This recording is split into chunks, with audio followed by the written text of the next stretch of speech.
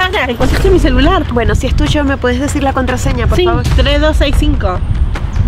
Ay, no, discúlpame, pero me salta incorrecta. Este celular es mío. Si es tuyo, decime la contraseña. 0102. Perdón, estoy nervioso. 0103. Me saltó positiva. Sí. Pero ¿cómo? Si es mío. No, es mío. Es mío. Es mío. Eh, bueno, el celular es de... es tuyo. Gracias, Sara. ¿Qué?